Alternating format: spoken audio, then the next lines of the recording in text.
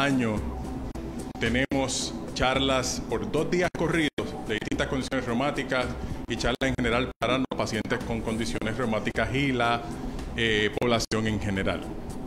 Este año ha estado eh, lleno de muchos retos y la propagación del COVID-19 ha creado la pandemia en la cual vivimos hoy en día. Esto eh, ha marcado nuestras vidas y el quehacer de día a día eh, de forma tal que hemos tenido que reimaginarnos y reinventarnos, eh, especialmente en la fundación, para poder lograr cumplir con la misión de ayudar a los pacientes en condiciones reumáticas a tener una vida más saludable, activa y productiva. En este, en este momento histórico en el que nos eh,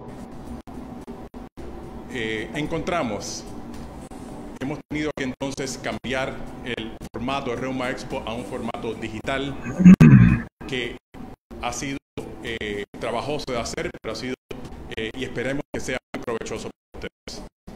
Desde San Juan, Puerto Rico, podemos entonces transmitir Reuma Expo no solamente a nuestra comunidad local, sino a todos los países eh, habla hispana que nos siguen a través de las redes sociales y a través de nuestro programa de radio de todos los sábados en la mañana, hablemos de reumatología con Fundación FER por Radio Isla, radioisla.tv y por Facebook Live de la Fundación FER.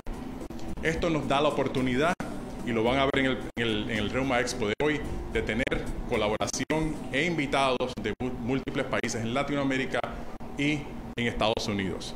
Verán en este Reuma Expo de hoy saludos de pacientes, colaboradores, pacientes y grupos de pacientes que nos siguen en las redes y que colaboran con la fundación, la variedad de distintos reumatólogos locales y también en distintos puntos en, en Estados Unidos al igual que van a haber historias de éxito y cápsulas variadas sobre ejercicios, nutrición y eh, salud mental, porque en la, en la, fundación creemos que la salud de los pacientes de condiciones reumáticas debe ser una salud integral. Estamos muy contentos de, que estén conectados con nosotros aquí. La revista Medicina y Salud va a estar retransmitiendo también, así que los invitamos a que se queden con nosotros, a que sometan sus comentarios eh, mientras está ocurriendo la actividad y que sometan sus preguntas porque vamos a estar contestando sus preguntas en vivo a final de cada segmento. Conmigo hoy eh, se encuentran el doctor eh, Ricardo Gago, presidente de la Asociación de Puerto Rico, que estará eh, contestando preguntas con nosotros. Y al cual le agradecemos su presencia y su colaboración, porque la Asociación de, de, Reumatólogos de Puerto Rico ha estado colaborando y trabajando en conjunto con la Fundación FER desde sus inicios en el 2009. También contamos con la presencia hoy eh, en vivo del doctor Daniel Hernández, que, que se conecta a nosotros desde Nueva York y es el director médico de la rama de Global Health Living Foundations, que se conoce como Cricky Joints en español eh, una organización sin fines de lucro como Fundación FER que se dedica a apoyar y educar eh, y a crear conciencia sobre condiciones reumáticas en pacientes de habla hispana a través de todo Estados Unidos. Y por último, eh, se encuentra con nosotros hoy en vivo y estará durante todo el expo. Eh, y no menos importante, nuestra directora ejecutiva eh, Grisel Lugo, la cual conocen a través del programa de radio porque es nuestra moderadora y la cual eh, trabaja insaciablemente para que todas estas cosas se den y sin ella no podríamos lo lograr muchas de estas cosas y, y, van a estar oyendo de ella en un momento. Los dejo ahora con el doctor Ricardo Gago, presidente de la asociación, para que pueda darles la bienvenida y no dejen de conectarse a Reuma Expo 2020. Saludos, buenos días y muchísimas gracias por compartir de su tiempo en la mañana de hoy con nosotros. La Asociación de Reumatólogos de Puerto Rico está comprometida con la educación y el apoyo a los pacientes con enfermedades reumáticas. Es cumpliendo con ese compromiso que estamos en la mañana de hoy ofreciéndole estas charlas y estas actividades académicas para ustedes, nuestros pacientes. Así que estén preparados porque va a ser unas horas de mucho entretenimiento y mucho aprendizaje Bienvenidos a Reuma Expo 2020. Ahora lo dejo con el doctor Daniel Hernández. Muchísimas gracias, doctor Gao y doctor Oscar Soto. Muy buenos días. Mi nombre es el doctor Daniel Hernández. Soy el director de Asuntos Médicos y el enlace para la comunidad hispana uh, de parte de la organización sin fines de lucro Global Healthy Living Foundation y Creaky Joints Español. Eh, como el doctor Soto Raíces ya había mencionado, estamos basados en Nueva York y llevamos una, un historial largo con la Fundación FER, ya que juntos nos hemos comprometido a proveer apoyo a nuestra comunidad hispana que padecen de condiciones reumáticas y también apoyo a sus familias.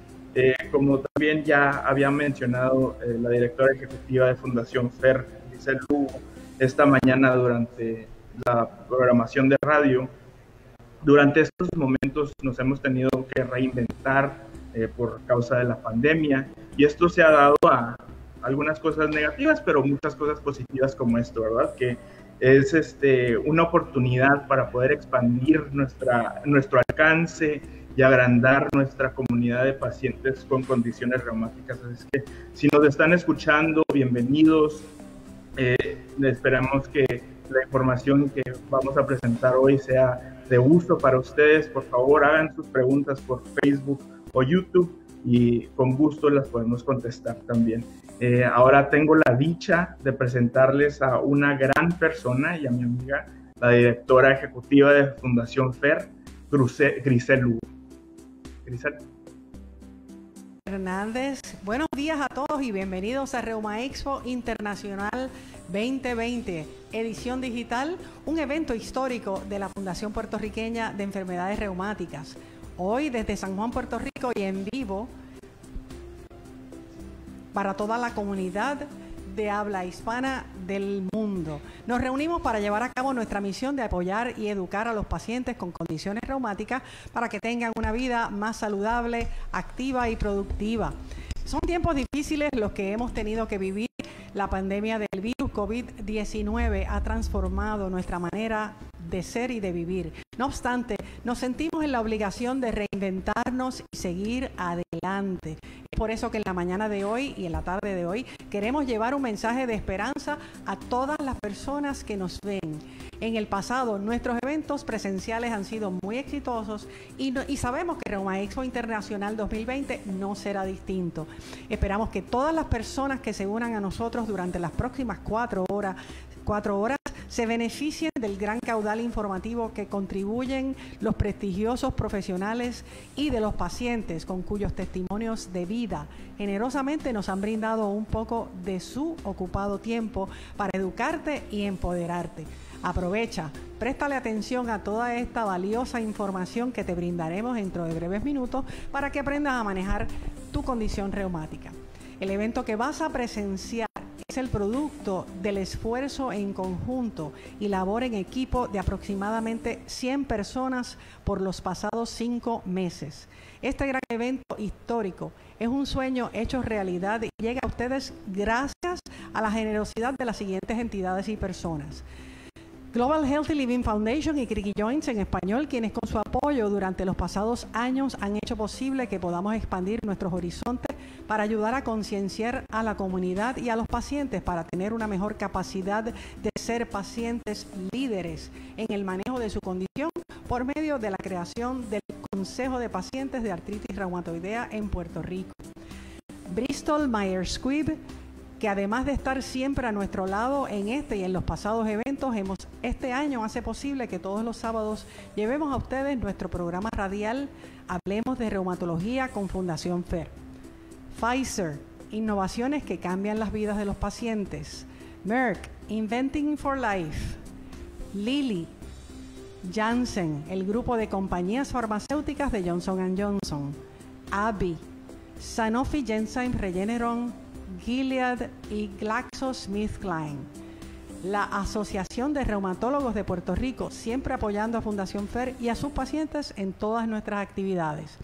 A todos los médicos y profesionales de la salud que nos ofrecieron su tiempo generosamente para las cápsulas informativas sobre las diferentes condiciones reumáticas a todos los pacientes reumáticos que nos han ofrecido su testimonio como pacientes exitosos, no solamente de Puerto Rico, sino de lugares tan remotos como Argentina, Panamá, Perú y diferentes ciudades de Estados Unidos, que sin dudarlo han compartido sus vivencias para que otros pacientes se beneficien, a nuestros talleristas que le ofrecen a los pacientes alternativas para que tengan una mejor calidad de vida. Queremos agradecer también a la revista Medicina y Salud Pública y Artritis y Reumatología, quienes en el día de hoy están retransmitiendo simultáneamente este evento en vivo a través de su página web a todos sus seguidores, a todos los medios de comunicación que han anunciado nuestro evento, al periódico El Nuevo Día por la producción del suplemento Reuma Expo 2020 en su edición impresa del pasado jueves 20 de agosto y en especial a la periodista Ileana Delgado que siempre dice sí al movimiento FER a Linda Ceballos por mantenernos en primera plana en todos los medios impresos y digitales. Una mención muy especial al productor de G y a su equipo de producción, quienes han logrado materializar una idea a esta histórica transmisión y la cual dentro de poco podrán apreciar. Al personal de Mindful Rheumatics, gracias por ser siempre parte de los héroes anónimos de FER. No puedo dejar de mencionar a la Junta Directiva de Fundación FER, ya que sin su generosa aportación de tiempo y su esfuerzo voluntario durante todo el año, este evento no sería posible. Pero sabes qué? El agradecimiento más importante es para la pieza más valiosa de esta fundación. Ese eres tú, paciente que nos sigues en todas las redes sociales y que sin falta asistes a nuestras actividades año tras año. Gracias por ser parte de nuestra motivación para seguir colaborando contigo y educándote para que haya conciencia sobre las más de 200 condiciones reumáticas. El trabajo en equipo hace que los sueños se cumplan. A todos, muchas gracias por ser parte del movimiento FER y que disfruten.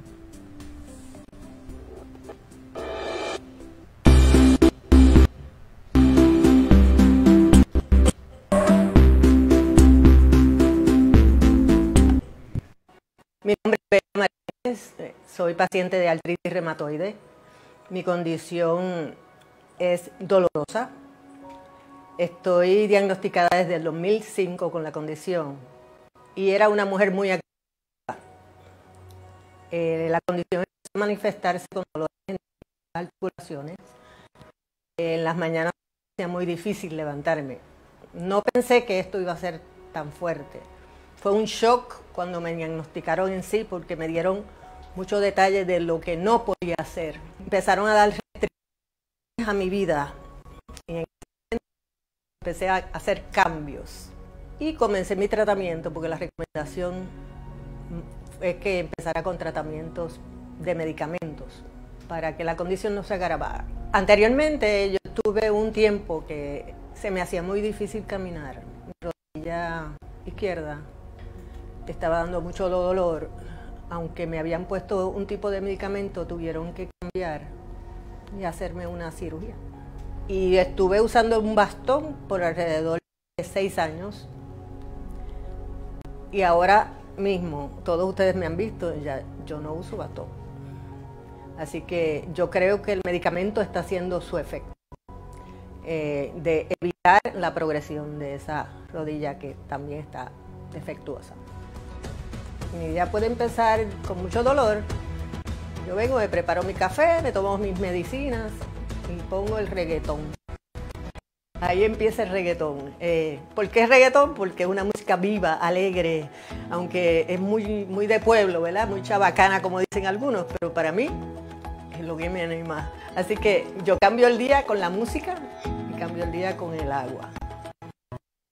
Me pongo mi traje de baño y me voy a hacer ejercicios en el agua. Y eso es lo que me está levantando, además de una mente positiva.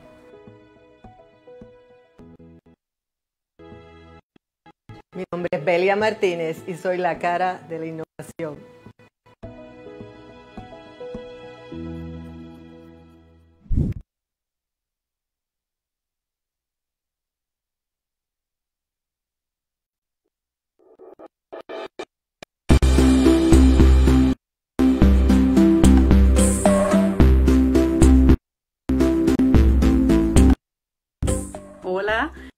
Saludo afectuoso. Eh, les habla la doctora Carmen Yolanda Pagán.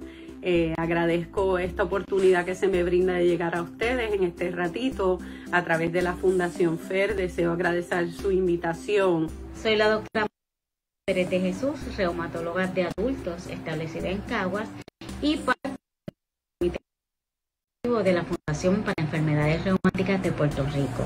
El tema que me corresponde es artritis reumatoide o artritis reumatoidea, como le quieran llamar.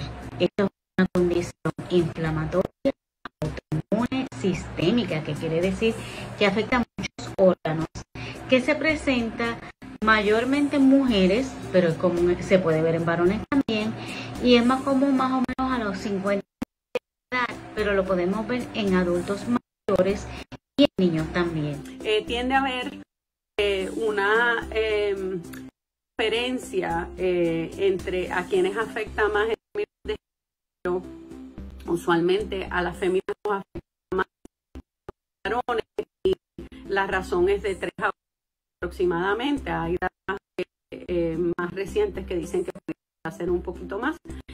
La prevalencia eh, esta, hay una tendencia a, la disminución y yo creo que, se debe ver en gran medida la tendencia que a Dios gracias tenemos para tratar y controlar esta enfermedad. Es un proceso inflamatorio. Se van a afectar mayormente las articulaciones o quizás ese va a ser el síntoma de alerta.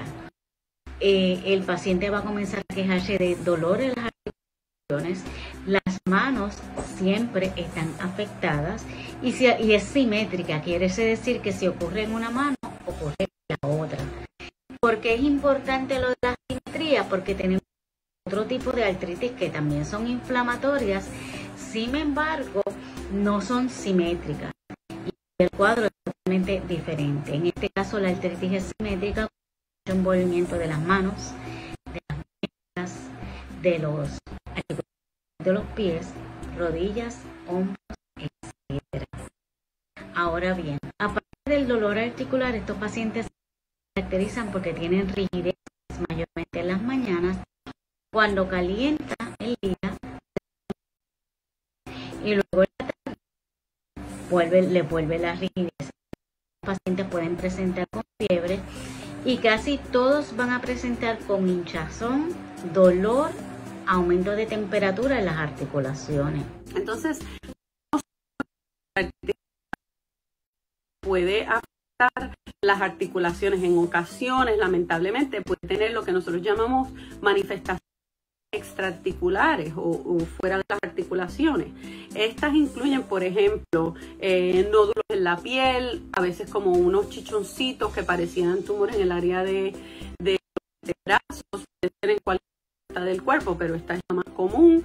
Eh, puede afectar este, los pulmones, causando una condición inflamatoria de los pulmones. Eh, muy raras veces también se ven unos nódulos en los pulmones, se pueden en una placa.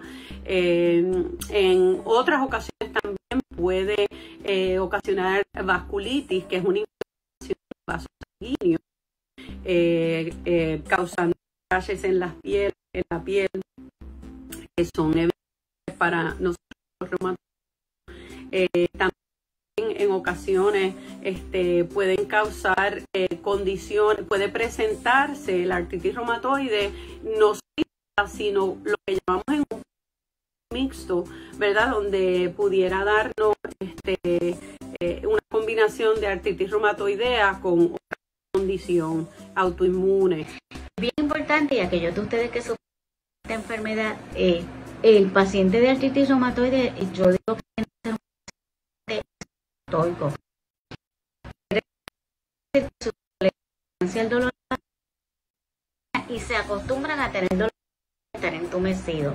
Pero es el tratamiento, el paciente nota en, en su estado que usualmente ellos pensaban que están bien, pero luego de que se les da tratamiento, notan esa mejoría bien marcada.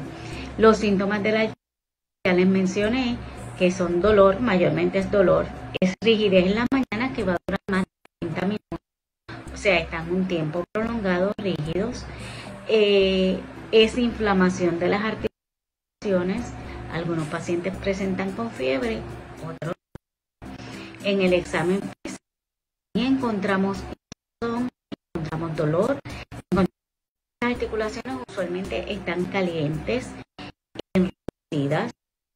Eh, cuando tratamos de mover esas articulaciones, esas articulaciones están dolorosas. En términos de laboratorio, pues mire, el famoso factor reumatoideo, eh, que es sumamente sencillo, lo hacemos y si está positivo sugiere que pudiera ser, pero lamentablemente no es específico, o sea, no solo en artritis reumatoidea que encontrar eh, ese factor positivo, en otras condiciones también se puede ver, pero hay otro que se llama CCP, anti-CCP citrulinado, eh, que es una prueba mucho más específica.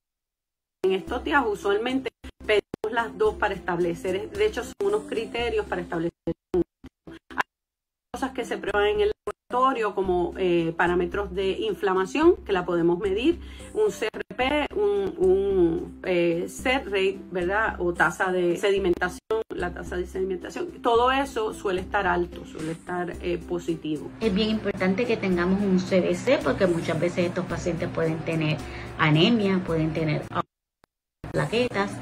También debemos tener un panel eh, comprensivo metabólico evaluar cuál es la función renal de ese paciente, cómo está la función del hígado de ese paciente, entre otras cosas, cómo está la porque es común reumatoidea en pacientes diabéticos y si el paciente es diabético y está controlado, pues realmente el manejo de la artritis tenemos que controlar para poder controlar la artritis. Así es que eh, aparte de las eh, pruebas sanguíneas, también hacer evaluaciones eh, con radiografías. Que la radiografía utilizamos de pecho para evaluar la cómo se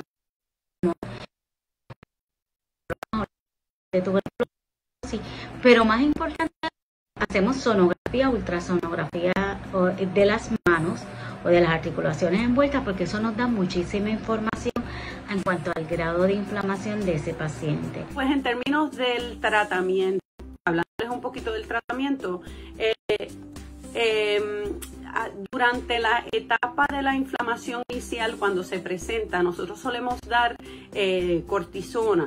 La prednisona tiene muchísimos efectos secundarios, obviamente, que a nadie le agrada porque pudiera elevar el azúcar, elevar un, poquito la, presión, etcétera. Pero nosotros lo utilizamos como terapia de puente, es decir, la comenzamos con el tratamiento que entendemos que a largo plazo el paciente se va a quedar y es el que va a controlar la enfermedad y con el que se va a quedar siempre. Entonces la prednisona como si el antiinflamatorio más potente de acción más rápida.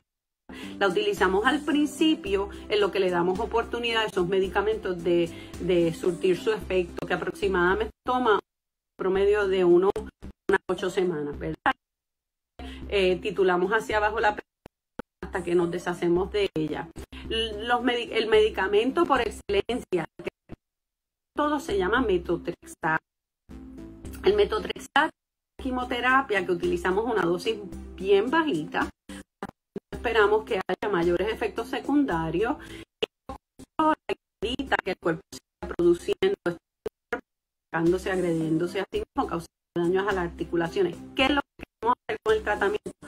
Tenemos tres eh, metas sumamente importantes, ¿verdad? Que son, eh, obviamente, eh, producir alivio del dolor y de los síntomas Eh, es bien importante evitar erosiones o daño estructural a los huesitos y eso lo podemos seguir con placas. Eh, no deberíamos ver cambios en una placa desde el año. O sea, se establece cuando estamos estableciendo el diagnóstico, vamos a hacer unas placas iniciales, a unas radiografías y si luego a partir de un año pudiéramos repetirla si es necesario, si vemos que no están siendo efectivos los para ver si hay erosioncitas nuevas, si las que había ya han progresado o si no, o si no hay erosiones, ¿verdad? Etcétera. Entonces, si el metrotexate eh, que se da, se suele, se puede dar oral por boca en forma de pastillas una vez por semana, eh, o se puede dar inyectado subcutáneo. Usualmente cuando llegamos a las dosis de 15 o 20 miligramos eh, de la, del metrotexate una vez por semana, si no es efectivo, a veces se suele cambiar a subcutáneo que tiene mejor absorción y funciona mejor. También concomitentemente con, junto con la, el metrotexate damos ácido fólico, porque el metrotexate tiene producción de entonces necesitamos suplementarla para no crear deficiencia eh, y para reducir los síntomas o efectos secundarios del medicamento. En conclusión, eh, hay una variedad de, de, tratamientos distintos. El efecto secundario más común de todos ellos, obviamente, porque estamos atacando el sistema inmunológico eh, para controlar esta enfermedad, ¿verdad? Y en la medida en que lo hacemos, pues bajamos las defensas. Solemos en ese caso asegurarnos de que el paciente tenga todas sus vacunas en orden eh, eh, a modo de prevención y que las que las vacunas efectivamente muertas, no como la el neumococo, una que se da Chinrix para um, las varicelas para evitar que eh, debe, deben estar al día. Esas se pueden utilizar estando en estos medicamentos. Otras se pueden dar antes de comenzar los medicamentos de modo que podamos prevenir esas infecciones en particular. La artritis reumatoide es un tratamiento individualizado donde nos vamos a dejar guiar no solamente por el cuadro clínico del paciente, sino porque otras condiciones o otros síntomas o el movimiento de otros órganos tengan ese paciente. Eh, en cuanto a otras cosas que el paciente puede hacer, es importante mantenerse haciendo ejercicio, una buena alimentación, no hábitos tóxicos, particularmente el consumo de cigarrillos, porque empeora el artritis y hace que el tratamiento sea efectivo. Eh, Tratamos de que no consuman alcohol porque los medicamentos se metabolizan por el hígado y no queremos tener un daño mayor con el consumo de bebidas alcohólicas. Eh, haciendo ejercicio, un de saludable. El diagnóstico usualmente bueno tratamiento. Eh, la mayoría de los pacientes pueden responder muy bien, pero cada, cada paciente hay que utilizarlo. Espero que esta información haya sido útil. Eh, no tengo tiempo para más. Que sigan disfrutando de estas educativas y saquenle provecho. Tengan una bendecida tarde. Espero que haya sido de ayuda para todos. Eh, eh, gracias por esta invitación y por esta oportunidad tan agradable que me da. Eh, de, llegar a ustedes en el día de hoy y contribuir con estas gotitas del saber.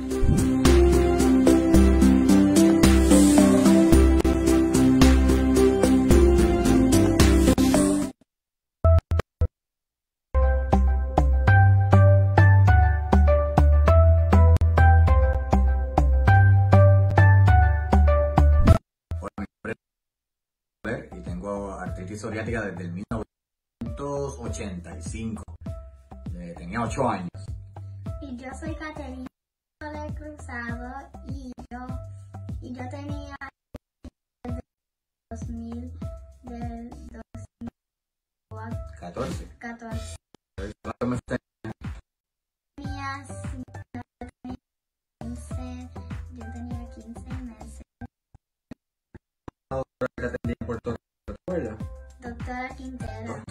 Quintero, a mí atendió doctora Arroyo cuando yo era pequeño, un Arroyo, y después me atendieron otro, hasta que estoy aquí ahora y me siguen atendiendo.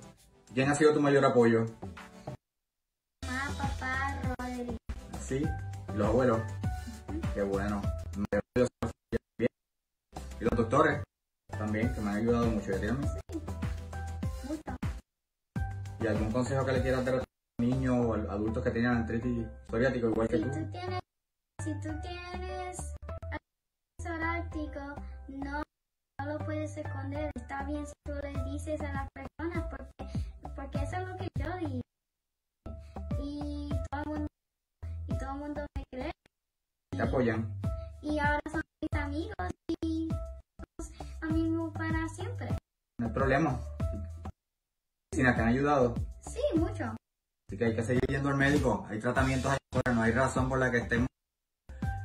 Picor, ardor o dolor. Eh, si te sientes así, excelentes médicos en toda Latinoamérica que te pueden tratar.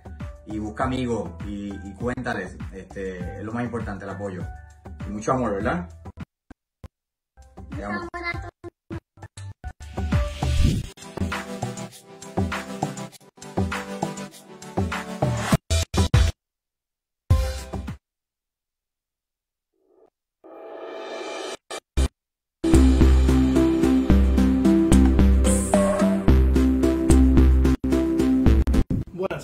Habla el doctor Ernesto Rodríguez, directamente de Tampa, Florida. Reumatólogo en práctica privada aquí en Tampa y también profesor clínico adjunto de la Universidad del Sur de Florida. Esta cápsula informativa se va a tratar sobre la artritis psoriática. Es un tipo de artritis, pero la psoriática es parte de una subfamilia de artritis conocida como las espondiloartropatías, que incluye la artritis psoriática, la espondilitis anquilosante, la artritis enteropática, que incluye pacientes que tienen personalmente o fa- historial familiar de la enfermedad de Crohn's o coitus ulcerativa, y finalmente artritis reactiva, que incluye pacientes que han estado expuestos a enfermedades sexualmente transmitidas como clamidia o gonorrea. Se estima que la prevalencia de artritis psoriática es de 0.1 a 1% de la población general, lo que significa que en los Estados Unidos hay aproximadamente un millón o más de pacientes con artritis psoriática. Yo personalmente pienso que esto es un número bajito, ya que eh, según la data de la Asociación Nacional de la Psoriasis, hay sobre 8 millones de personas en Estados Unidos con psoriasis y hay eh, datos significantes que enseñan que aproximadamente un tercio de estos pacientes van a desarrollar artritis psoriática. Por lo tanto, debe haber sobre 2 millones de pacientes con artritis psoriática en los Estados Unidos. Esta es una enfermedad bastante interesante, eh, ya que se caracteriza por presentaciones o manifestaciones articulares y extraarticulares.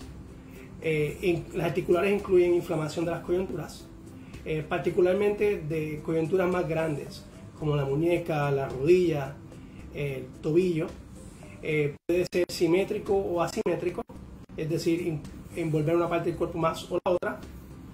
Eh, está asociado con dolor, hinchazón y rigidez.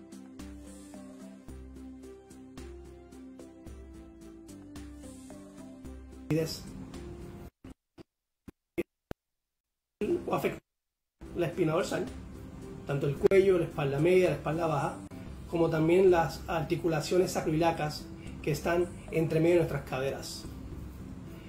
También se caracteriza por una presentación clínica muy específica que se llama enticitis.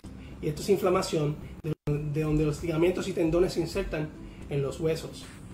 En la vida cotidiana todos estamos expuestos a esto, ya que todos hemos escuchado de el codo de tenista, el codo de golfista o fascitis plantar.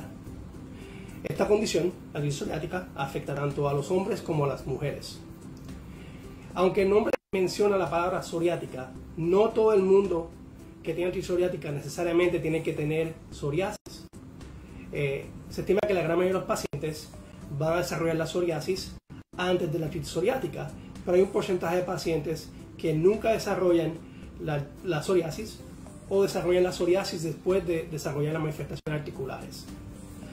Además de las arti- manifestaciones articulares, hay manifestaciones extraarticulares, que incluyen la piel, como he mencionado, cambios a las uñas, en donde le pueden salir hoyitos en las uñas, le puede crecer normalmente o hasta se pueden caer. También puede haber inflamación del ojo, una condición que se conoce como uveitis o iritis. Y ciertos pacientes pueden tener inflamación microscópica del colon, una condición que se conoce como colitis microscópica, que ha estimado que puede ocurrir hasta un 50% ah, de pacientes con psoriasis o artritis psoriática. ¿Cómo diagnosticamos esta condición? Eh, el historial y examen físico es bien importante. Historial personal de psoriasis o de una familia familiar con psoriasis nos ayuda. Inflamación en las coyunturas es importante, eh, tanto en las coyunturas periferales como el espina dorsal o las caderas. Usamos laboratorios eh, como marcadores de inflamación y a veces podemos usar una prueba genética que se llama el HLA-B27, eh, que es una prueba que particularmente yo ordeno en pacientes que no presentan con manifestaciones de psoriasis. Eh, además del laboratorio examen físico e historial, podemos hacer radiografías. usualmente empezamos con radiografías de las, de las caderas y de las articulaciones envueltas. podemos usar ultrasonido eh, que hacemos mucho en práctica para detectar entesitis. Y también se puede usar el MRI para evaluar las coyunturas, particularmente las sacroiliacas, si no hay cambios clásicos en radiografía. ¿Cómo tratamos esta condición? Hay diferentes medicamentos para tratamiento de psoriática, empezando desde analgésicos como Tilenol, que sencillamente ayudan para el dolor, antiinflamatorios eh, y otros medicamentos que sean eh, tomado prestado de otras condiciones reumáticas. Eh, están los medicamentos convencionales que se usan para artritis reumatoidea, como el metrosate, la sulfasalacina y la leflunomida. Estos tienen cierta calidad de efecto en, esta condición, pero no están exactamente diseñados para la artritis psoriática. También de la artritis reumatoidea hemos estado los inhibidores de TNF-alfa. Y estos medicamentos son más directos y ayudan tanto para manifestaciones no solo de las coyunturas, sino de la piel y otras manifestaciones extraarticulares como uveitis o colitis, etc.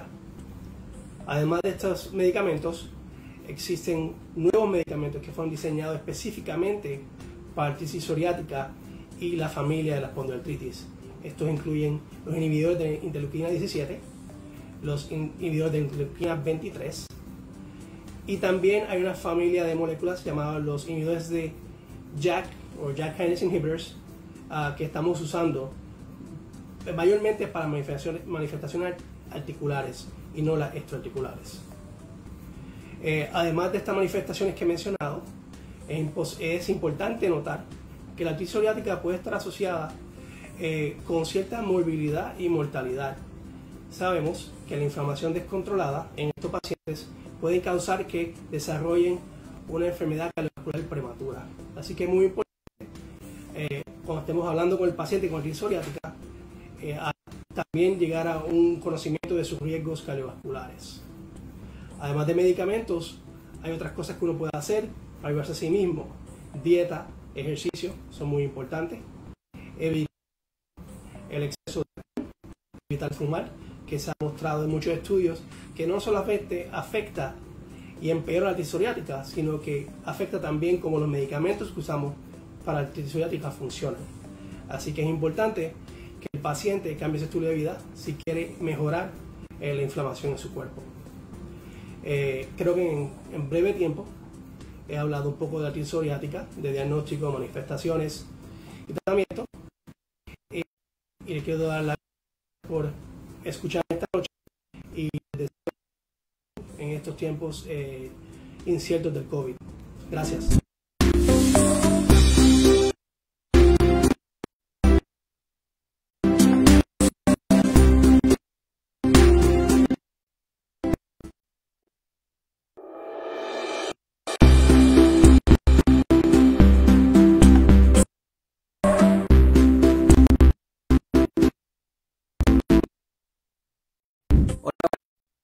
Saludos a todos y muchos saludos a todos mis compañeros puertorriqueños. Les habla el doctor Julio González, este, hablando desde Tampa, Florida. Soy reumatólogo con práctica privada y pues mucho, me da mucho gusto poder hablarles en el día de hoy. Eh, en esta cápsula informativa les estoy hablando, les voy a estar hablando del tratamiento sobre la de la artritis ¿okay? primero que nada, el, tratamiento de la artritis reumatoidea es importante entender qué es la artritis reumatoidea, dónde proviene la artritis reumatoidea. So, la artritis reumatoidea es una enfermedad autoinmune y esto lo que significa es que es una enfermedad que está directamente relacionada o en, en este caso causada por una condición eh, de nuestro sistema inmune. So, por decirlo de una manera sencilla, el sistema inmune de cierta manera y empieza a atacar las coyunturas la razón de esto no se sabe. Este, hay definitivamente un componente genético y a través del camino, ya sea eh, en una edad pues, adolescente o una edad mayor, en algún momento el sistema inmune se activa y este componente genético se activa y empieza a atacar, pues en el caso de la artritis reumatoidea, la coyuntura. Y esto pues más o menos es lo que son el, el espectro de las enfermedades autoinmunes. So, la artritis reumatoidea hay un componente muy importante que son las células B y muchos de los tratamientos que vamos a estar hablando y utilizando son eh, están directamente re- relacionados a la forma en que las células B trabajan o se comunican con las células T y entre la forma en que esas células se comunican con el resto de las células de nuestro sistema inmune. So, es importante entender esto para, de nuevo, eh, poder entender un poco más de los tratamientos. A mí me gusta hacerle una analogía a mis pacientes cuando los veo acá que, pues ahora que ya fuiste diagnosticado con la artritis reumatoidea, pues ahora hay que ir en cierta manera como una batalla contra el sistema inmune. Entonces, pues en esta batalla nosotros vamos a coger diferentes tipos de, de o de, pues, de maneras que vamos a, liberar esta batalla o a esta batalla contra el sistema inmune. Y por ejemplo, tenemos eh, una bomba que es un, bueno, algo que vamos a usar que es grande, que, que- va a eliminar varias cosas. Utilizamos quizás una artillería, utilizamos eh, lo que se dice eh, como los, ¿cuál es la definición? Snipers, que son los francotiradores, ¿ok? Cuando usamos la primera medicamento que nosotros usamos cuando la artritis reumatoidea es diagnosticada es lo que se llama la prednisona. Estoy seguro que ustedes están familiarizados con la prednisona. Es para controlar la inflamación. Y esto pues, hay, volviendo a la analogía, es como la bomba. Porque la pues, eh, se controla la inflamación, inmediatamente comenzamos a ganar la guerra, pero los efectos secundarios de nuevo son demasiados, empiezan a, surgir y entonces hay que parar la prednisona para otro medicamento. Lo que quiere decir que la prednisona nunca es la solución al problema, como la bomba nunca es la solución al problema. So, una vez se utiliza la prednisona, se trata por un tiempo el paciente con la prednisona, usualmente semanas, eh, y se empiezan otros medicamentos. Estos medicamentos, y les digo, mi- mis pacientes muy pocos, que van a tener reumatoidea, muy pocos están en prednisona a largo plazo, porque las opciones de medicamentos que tenemos resultan mejores y mucho más efectivas que, que la prednisona sin los efectos eh, los medicamentos de la artritis se dividen principalmente en, en dos clases, los medicamentos convencionales y los medicamentos biológicos o pues los más recientes o quizás más sofisticados.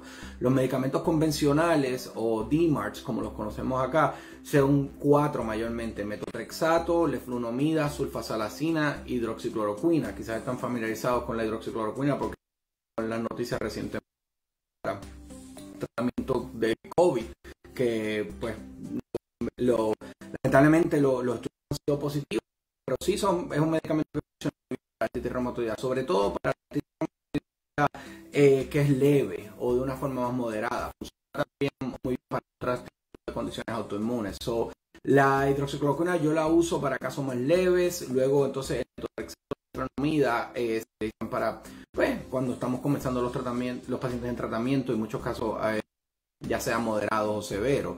Eh, estos medicamentos requieren eh, monitoreo, hay que eh, checar los, conteos de sangre, las enzimas hepáticas, eh, la, función renal, pero la realidad es que estos medicamentos son relativamente seguros y eh, muchos pacientes no los toleran bien, pero a los pacientes que los toleran, pues resultan efectivos y sabemos que alrededor de 30 o 40% de los pacientes con artritis reumatoidea mejoran solo con esta primera eh, fase o estos, estos medicamentos quizás un poco más básicos que los biológicos. Eh, la forma en que estos medicamentos funcionan no se conoce bien, eh, pero porque estos medicamentos no fueron inventados para la artritis reumatoidea, se utilizaban para otras condiciones y se adaptaron para la artritis. Este es el componente de la artillería, quizás como digamos, como volviendo a la analogía de la guerra, uno manda a los soldados y libran la batalla.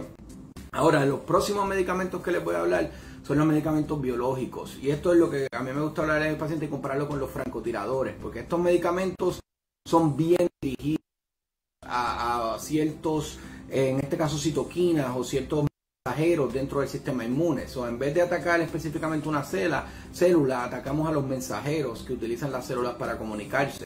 So, por eso eh, estos medicamentos son bien sofisticados, son eh, extremadamente caros y muchas veces difícil de accesar, pero funcionan eh, eh, como lo que nunca antes habíamos visto en el, en el campo de la artritis. pacientes llegan que comienzan con una artritis severa y estos medicamentos mejoran en cuestión de meses al punto en que vuelven a su vida completamente normal. Estos medicamentos se dividen en varias y las clases de medicamentos es en base a la citoquina de nuevo o la, el mensajero dentro del sistema inmune que atacan. Hay otros que se dedican a atacar o no atacar quizás, pero a evitar el crecimiento de las células B o la expansión de las células B y otros se dedican más en la forma en que las células T se comunican, que son de nuevo componentes eh, esenciales de nuestro sistema inmune que no los podemos destruir, pero quizás los podemos modificar, modificar y de esta manera controlar los efectos secundarios.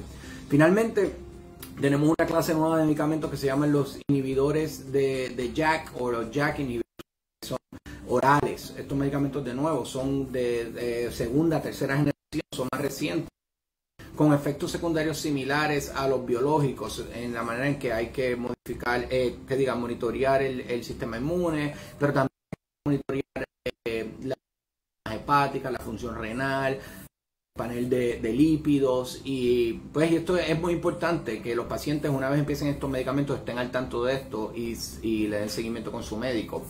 Eh, la ventaja de estos medicamentos es que una vez los empiezan, pues los pacientes están inmediatamente eh, más, eh, mucho más fácil para ellos salir del uso de la prednisona, que como les dije, debe ser el primer paso. ya les hablé de los tres medicamentos, los tres tipos de medicamentos principales que utilizamos paciente de reumatología entra por la puerta, la prednisona inmediata, luego los convencionales, luego los medicamentos de segunda, tercera generación como los biológicos, los DMARS. Finalmente, hablando de eh, las clases no farmacológicas o los cambios en estilo de vida que pueda tener un paciente, siempre me lo preguntan, doctor, ¿qué puedo hacer si no me quiero medicamento o quiero modificar mi vida, quiero hacer mi ¿Cómo lo puedo hacer? Pues mire, básico, dieta y ejercicio, bajar de peso, comer saludable, carbohidratos simples, eh, mantener un estilo de vida saludable, evitar el exceso de alcohol, evitar el, tabaco, el cigarrillo, todas estas cosas se ha encontrado que son perjudiciales no solamente para la salud, pero específicamente para la artritis reumatoidea. Que es una condición inflamatoria, autoinmune inflamatoria, y todos estos estilos de vida eh, promueven la inflamación de dieta, la falta de ejercicio, el tabaco, eso es importante que los pacientes sigan este estilo de para que estos medicamentos funcionen mejor. Es importante que los, los pacientes estén um, estos medicamentos pueden modificar o bajar la forma de So, nosotros tenemos que hacer nuestra parte eh, eh, vacunando a nuestros pacientes, ya sea contra la hepatitis B, ya sea contra la, neumonía, influenza, el zoster, todas estas vacunas están indicadas para los pacientes de, de cierta edad, claro, que son candidatos con el o enfermedades autoinmunes. Así que pues yo creo que traigo por ahí. Gracias por sintonizar y eh, mucho gracias a todos. Gracias.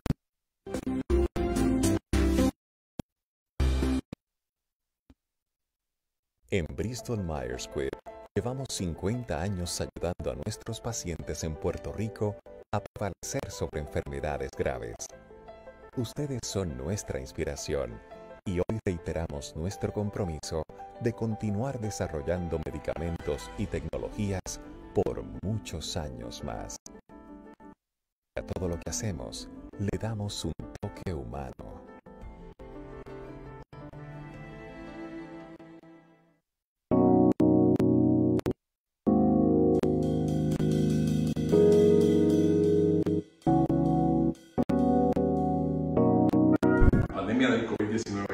que cambiemos el formato de esta actividad de Fundación FER, la realizamos todos los años para que llegue a todos ustedes de una forma mucho más segura, pero puedan seguir educándose sobre condiciones reumáticas y este año enmarcado en el contexto de este momento histórico el que vivimos con el COVID-19.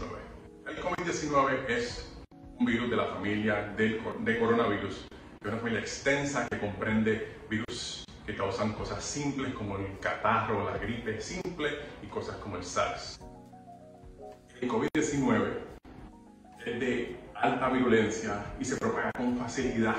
Por eso estamos viviendo este momento en donde tenemos contagios en todas partes del mundo, lo que llamamos una pandemia. Los síntomas son muy variados, desde pocos o ningún síntoma hasta síntomas que pueden causar la muerte. Por eso es importante entender que no solamente los síntomas severos son importantes, sino que la gente con muy pocos síntomas también puede síntomas respiratorios, fiebre, síntomas intestinales, son cosas que causa el COVID-19. Pérdida de olfato es otro síntoma peculiar. Es importante, como en cualquier otra condición, y lo seguimos diciendo una y otra vez, cuando tengan síntomas nuevos, consulten a un profesional de la salud, a su médico. Intervención temprana, como en cualquier otra condición, es importante para que esto sea un eh, evento fatal. En esta actividad vamos a estar hablando de COVID-19 y cómo se relaciona las condiciones En cada segmento les voy a traer un poco más de información y el próximo de COVID-19 y en específico cómo se relacionan enfermedades reumáticas. Con nosotros para que aprendas un poquito más sobre cómo esto se relaciona y qué hacer eh, para evitar y para mantenerte saludable durante esta pandemia del COVID-19.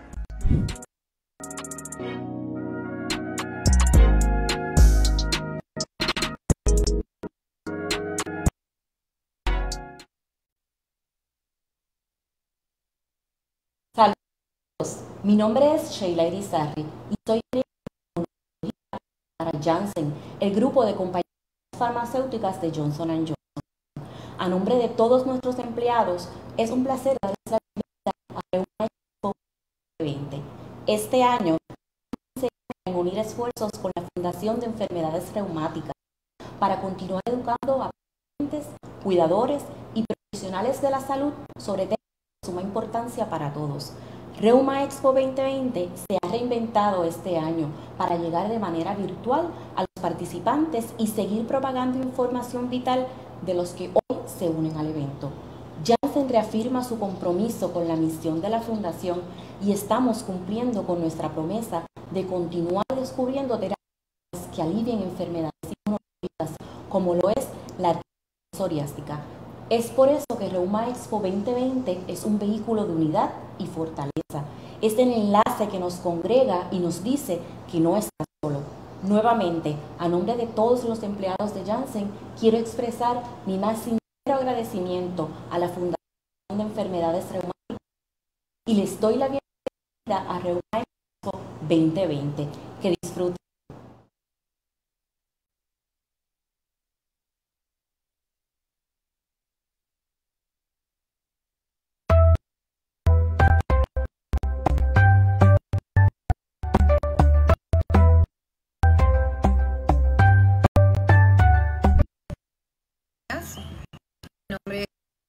Varela Rosario, soy reumatóloga con práctica en el pueblo de Aguada y quiero darles la bienvenida a la mañana de hoy a esta actividad de la Fundación FER. Esta es nuestra actividad anual. Dadas las circunstancias que en estos momentos hemos, hemos esta actividad de ser eh, presencial a ser un formato virtual, de manera que nosotros del distanciamiento social podamos mantenernos conectados. Bueno, yo quiero hablar sobre el dolor de espalda como una manifestación temprana de anquilosante. Bueno, yo es bastante grande, así que vamos a tomar por partes. Primero, sobre qué es espondilitis anquilosante. Les voy a decir inflamatoria que tiene una naturaleza crónica, que puede ser y que ocurre con más frecuencia en hombres jóvenes. Que enfermedades inflamatorias crónicas, la detección temprana, intervención a tiempo puede hacer una diferencia significativa en el bienestar del paciente, su calidad de vida, incluso eh, puede afectar el tiempo que el paciente tenga funcionalidad, trabajo, otras cosas que son muy importantes. Por esa razón es que quiero hablar del espalda inflamatorio porque tiende a ser más temprana de espondilitis anquilosante. Las manifestaciones más tempranas de espondilitis anquilosante. ¿Por qué hacemos la diferencia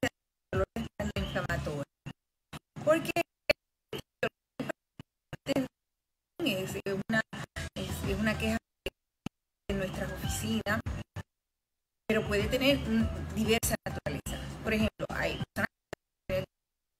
mecánico, estuvo todo el fin de semana en el patio, eh, recogiendo hojas, cortando ramas, y se despierta, se despierta con dolor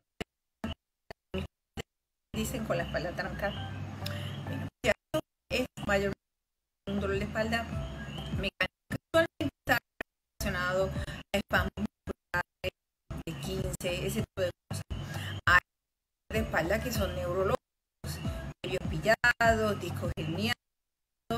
Puede haber un dolor traumático, alguien se cayó por las escaleras, se lastimó, incluso dolor de espalda por de vértebra, muchas otras razones, cáncer infecciones de, los discos. Por lo tanto, es importante que nosotros hagamos la diferencia entre que es un dolor de inflamatorio, no presenta, y de esa manera anticipar que puede estar a esta llamada espondilitis. Entonces, ¿qué tiene de diferente el dolor de espalda inflamatorio? Unas características muy específicas. Primero, primero va a ser un dolor de espalda que lo experimentan pacientes jóvenes, personas de 40 o menos, jóvenes, adolescentes eh, en su edad temprana. Digo porque es muy común esta condición de espondilitis anquilosante en los hombres. Sabemos que la- el paciente que va a experimentar este dolor de inflamatorio es joven. Cuando nosotros tenemos dolor de espalda, usualmente estamos un poco mayor de 40 años que puede estar teniendo problemas con esclerosis u otros problemas como ya mencionamos, ¿verdad? Discos herniados, cambios de. Pero este no, este va a ser un paciente relativamente joven. ¿Qué otra cosa podemos esperar en un paciente que tiene dolor inflamatorio? Usualmente el dolor de espalda inflamatorio es actividad física. Te va a dar el historial de que está con dolor de espalda, hace ejercicio, está, monta una caminadora y su dolor de espalda mejora. De la misma manera también empeora con la actividad. Es decir, que si la persona en la mañana cuando se levanta, tiende a tener un mayor síntoma.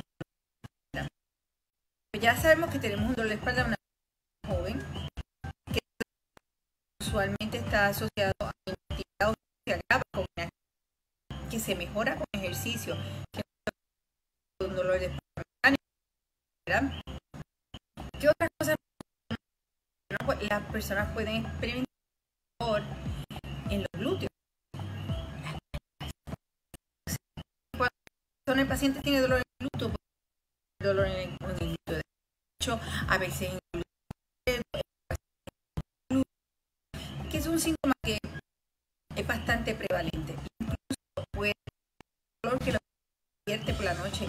Típicamente el paciente puede escribir que tiene dolor de dolor de glúteo, se levanta, se mueve un poco y ese dolor mejora.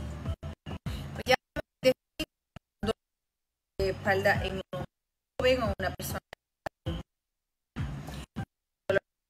con ejercicio que se agrava con inmovilidad o descanso que puede causar envejecimiento de los glúteos y podemos ver también dolor en las caderas.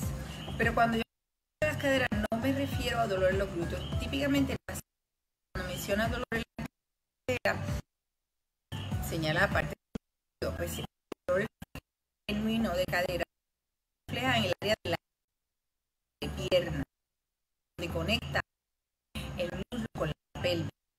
Cuando la persona siente sí dolor en esa área, de cadera.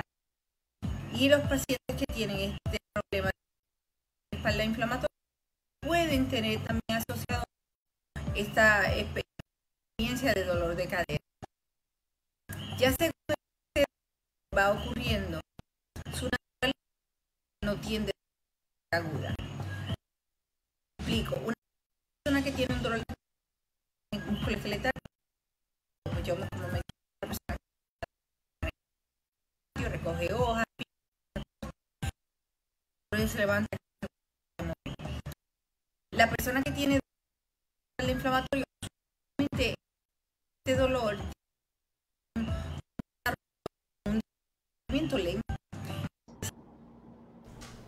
de vuelta en vivo en Reuma Expo Digital Internacional 2020. Eh, queremos eh, decirle a todos los que están conectados con nosotros y han estado conectados con nosotros desde las 10 de la mañana que hemos tenido unos problemas de, de transmisión, por eso han visto que el audio en algunos videos ha estado entrecortado. Eh, por eso interrumpimos ahora para contestar las preguntas que tenemos, porque tenemos muchas preguntas en estas primeras charlas. Dos cosas que, que quiero que sepan es que le vamos a, a, vamos a resetear el sistema para que el audio sea mejor en el, en el próximo segmento. Así que estamos trabajando, la producción está trabajando con eso. Y eh, las, las, charlas que vieron ya, queremos que sepan que van a estar disponibles en la página de Fundación FER para que las puedan escuchar con detenimiento eh, en el, una vez terminemos el expo. Eh, eventualmente eso lo van a tener disponible, ¿ok? Por lo tanto, vamos a hacer una pausa ahora para, para contestar sus preguntas en vivo en lo que producción trabaja con el próximo segmento. ¿okay? La última eh, charla era la que estaban viendo eh, y ya eh, pronto pueden ver el resto de los videos. Muchas gracias, eh, doctor Soto. Sí, eh, pues esta primera hora se habló sobre eh, testimonios sobre artritis reumatoide, eh, también se habló sobre los medicamentos, los tratamientos, ¿verdad? Se habló sobre la espondilitis anquilosante y también sobre la artritis psoriásica. Y a base de todo esto se hicieron muchas preguntas muy, muy buenas y me gustaría eh, preguntarle al doctor Gago y al doctor Soto Raíces si nos podrían ayudar a contestar algunas de estas. La primera es eh, de, de Marna, y Marna nos pregunta, ¿hablarán del COVID-19? Yo sé que el doctor Soto sí hubo un, un, un espacio ahí en, en, la primera hora que sí hablamos un poquito sobre el COVID-19, pero vamos a seguir hablando sobre el COVID-19, doctor. Sí, en cada, en cada segmento, en los cuatro segmentos del Expo, va a haber una cápsula del COVID-19. Aún así, eh, si tienen alguna pregunta específica, eh, quédense pendientes a las cápsulas y pueden preguntar algo más específico y con mucho gusto lo, lo, contestamos. Pero en cada segmento va a haber algo pequeño hablando sobre cómo afectan las condiciones reumáticas, cómo afectan los medicamentos y qué podemos hacer para prevenir el COVID-19. Eso eh, lo van a estar viendo durante el expo, pero ciertamente podemos contestar preguntas más específicas si las tienen. Excelente, sí, este, así es que por favor nos está encantando este tipo de, de participación en, los comentarios, que así siga, en cualquier pregunta que tengan sobre la pandemia, pues aquí estamos para responderla. La segunda eh, es un comentario y viene de Sandra y ella eh, nos dice que el medicamento metrotrexato solo le ayuda a la psoriasis, pero no a los dolores que tiene. Eh, doctor Gago, doctor Soto, ¿nos podrían, eh, le podrían dar una, una respuesta a Sandra sobre por qué esto es lo que está pasando con ella? Bueno, saludos Sandra, muchas gracias por su pregunta. Eh, en base a eso, pues mire, el metotrexato se utiliza para aliviar, intentar mejorar esos dolores articulares. Hay que estar seguro, ¿verdad?, que estos dolores están asociados a la psoriasis y no que sea por otras condiciones que pudiesen estar asociadas o que sea acompañante de la condición. Pero eh, la finalidad del metotrexate es aliviar o por lo menos tratar de, de reducir las placas a nivel de piel pero más todavía lo que son los síntomas articulares de las tenosinovitis o estas inflamaciones de los tendones que se pueden ver asociadas en la artritis psoriásica. Este, pero en particular, ¿verdad? Si, si todavía mantiene mucho dolor, mucha molestia con estos hallazgos que tenemos como son los dedos en salchicha y este tipo de cosas que uno ve asociados a la artritis psoriásica, debe comenzársela con su reumatólogo para ver si él, ¿verdad? Determina que deben hacer ajustes a su medicamento o cambiarlo a otras alternativas que tenemos disponibles y son sumamente efectivas para aliviar estos dolores y mejorar su calidad de vida. Muchísimas gracias, doctor. Sí, el metrotrexato, como también se mencionó en, en la primera hora, es parte de los medicamentos antirreumáticos modificadores de la enfermedad, eh, como ya, ya se había mencionado y como dice el doctor, pero también si están sintiendo, eh, eh, siguen sintiendo estos síntomas de dolor, hay que, hay que ir con su médico, con su reumatólogo para asegurarse que, que se está tratando la condición adecuadamente. Ahora, eh, tenemos otra pregunta de Mariela. Y la pregunta de Mariela dice, ¿la artritis reumatoide causa movimientos involuntarios en las piernas o manos?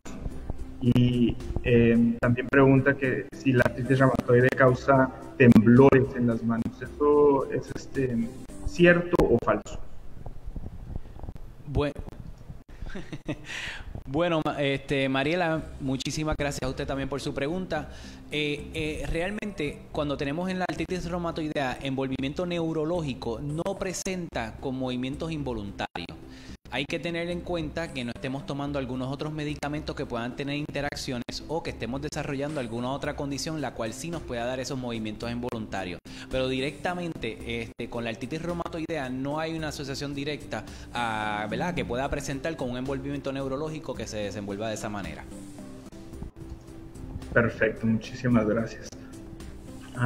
aquí viene un comentario de Vero y ella nos menciona que parte de su tratamiento es el uso del cannabis medicinal. Yo sé que esto es un tema nuevo, relativamente nuevo y se sigue estudiando, pero hay algunos eh, datos que podríamos compartir con nuestra comunidad sobre el cannabis medicinal, doctor Soto, doctor Gago. Sí, ciertamente, como, como, como bien menciona el doctor Hernández, esto es un tema relativamente nuevo el uso de cannabis ha quizás sobrepasado las publicaciones de estudios o la cantidad de estudios clínicos que necesitamos para saber cómo funciona en, todas las condiciones en las que se, usa. Tenemos ciertamente más datos del uso de cannabis y cómo trabaja en el sistema neurológico, en el sistema inmune o en, el proceso de inflamación, pero eh, sabemos que puede causar ciertos eh, beneficios en el sistema neurológico especialmente quizás para y puede ayudar a algunos de nuestros pacientes con, con el eh, problema de sueño, con problemas de relajación y ansiedad. Lo que tenemos que tener muy claro es que el cannabis no eh, necesariamente va a, trabajar como trabaja un agente modificador de la condición como un metrotexato, como un plaquenil, sulfasalacina o como un biológico lo que eh, es importante entender es que puede ser quizás una terapia adyuvante o de ayuda o complementaria, eh, para usar una palabra que quizás puedan entender, con otros medicamentos, pero no sustituye ninguno de los antiinflamatorios y ninguna de las terapias que usamos para, para tratar cosas como la artritis reumatoide. y lo más importante, diría yo, es que cuando piensen en usar una terapia complementaria como el cannabis, siempre consulten a su reumatólogo o a su médico antes de tomar la decisión, porque como cualquier otro medicamento, como cualquier otra terapia, también eh, tenemos que tomar en cuenta la, la, cantidad, la dosis que se usan, el tipo de cannabis que se usa, los efectos secundarios, porque el hecho de que, de que parezca ser algo más natural que otras cosas no quiere decir que no, no, no, pueda causar efectos secundarios, así que hay que escoger muy bien eh, qué tipo de paciente lo puede usar, eh, cuándo, qué dosis, eh, y ciertamente esa decisión debe ser tomada en conjunto con su médico para combinarla, quizás combinarlo con algunos de los medicamentos que ya usa para controlar su artritis reumatoide en este caso, pero igual para artritis psoriásica y para las espondiloartropatías como la espondilitis anquilosante. Pero una vez más, lo más importante diría yo es que no tome esta decisión sin consultar a su reumatólogo antes. Muchas gracias, doctor. Eh, me gustaría también reiterar lo que nos, nos, comentó el doctor González cuando estaba hablando sobre los tratamientos, que eh, la diferencia de tratamientos eh, que no son los medicamentos antirreumáticos modificadores de la enfermedad es que no son esos francotiradores, ¿verdad? Así es que obviamente necesitamos algo tan específico como el francotirador para poder tratar la condición y aparte eh, con una conversación con su reumatólogo puedes tener un tratamiento alternativo ayudante, o sea, que, también se pueda tomar al mismo tiempo que estés tomando estos medicamentos. Pero lo más importante es eh, es tratar la condición con estos medicamentos que se han comprobado que en realidad tratan la, la, condición.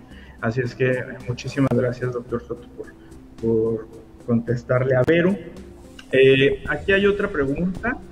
la pregunta viene de Matilde y la pregunta es, ¿el degenerative disc, que es los discos degenerativos de la espalda, eh, podría eh, ser relacionado a la artritis reumatoide.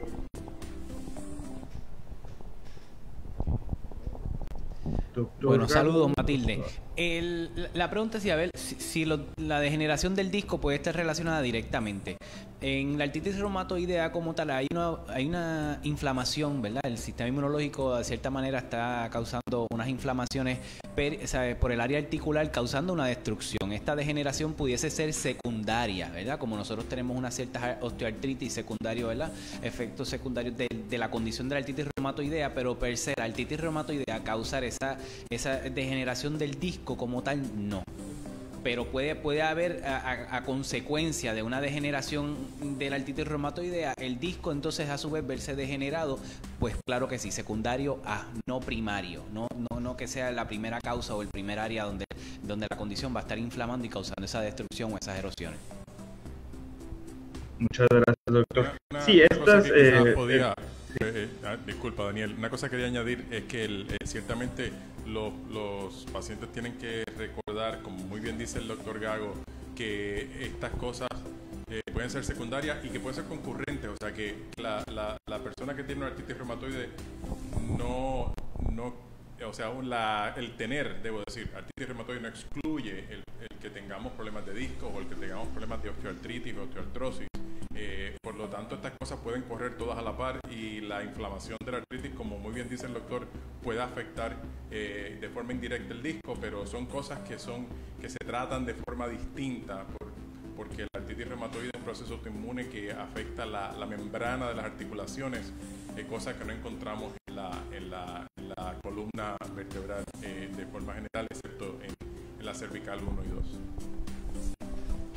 Perfecto, muchísimas gracias. Sí, eso es un gran punto que eh, muchas veces nos gusta pensar que hay una condición primaria y, y, eso es lo único que se tiene que enfocar uno como paciente, pero desafortunadamente así no es. No es tan blanco y negro como eso. Muchas veces eh, hay, hay más de una condición que se tiene que tratar y esa es la importancia de, de estar trabajando con tu reumatólogo para asegurarte que, estás este, tratando las condiciones adecuadas y al tiempo adecuado. Eh, me gustaría preguntarle a producción si tenemos tiempo para más preguntas, si nos gustaría volver. no, ya producción nos está diciendo que tenemos que pasar ya al próximo segmento. Así que le vamos a, agradecer a todos los que están eh, conectados con nosotros en estos momentos. Eh, pedirles que no se vayan, que nos sigan por Facebook Live.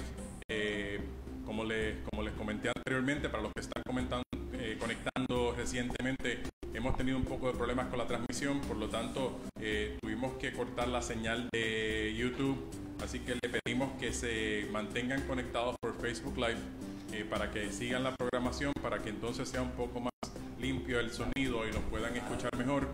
Eh, y luego del próximo segmento, porque nos quedan tres segmentos más, vamos a estar una vez más el doctor Hernández, el doctor Gago eh, y este servidor contestando sus preguntas. Así que eh, quédense con nosotros en Reuma Expo Digital 2020. Va a haber, va a haber una leve, una leve interrupción porque vamos a darle un, un restart, vamos a recomenzar todo para ver si entonces la señal pasa más limpia y con más fuerza y poder llegar a ustedes de la mejor manera. Así que por favor no dejen de sintonizarnos. Nos vemos pronto.